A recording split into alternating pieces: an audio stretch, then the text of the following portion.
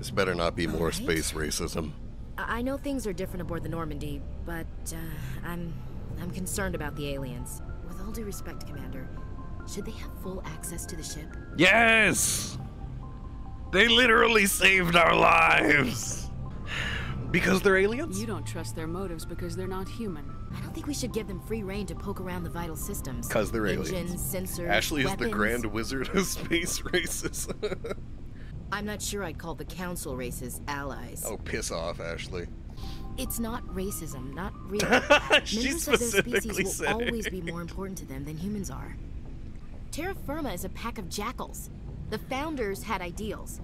These days they just play off xenophobia and bigotry. Like yours? I hope my reasons are more rational. They aren't. My father, grandfather, great grandmother, they all We're all racist. and swore the oath of service. Jesus Christ, Ashley, get it together.